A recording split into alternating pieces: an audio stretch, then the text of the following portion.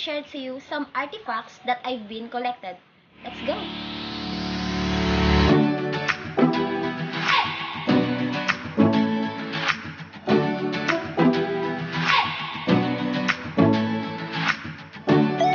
Isa sa aking mga nakolektang artifacts ay ang banga.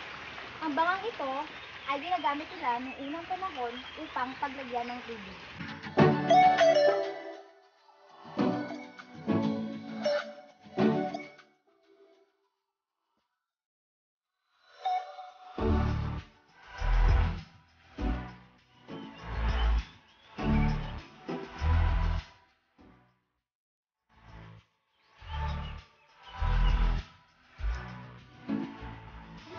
Na mula pa noong 1960s na hanggang ngayon ay ginagamit pa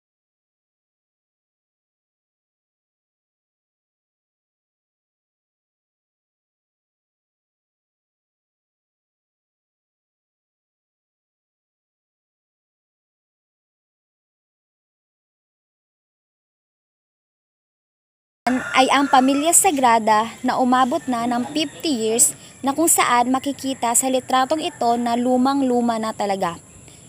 So ngayon, ito ay makikita sa bahay ng aking lola na kung saan inaalagaan at iniingatan pa rin ito hanggang ngayon.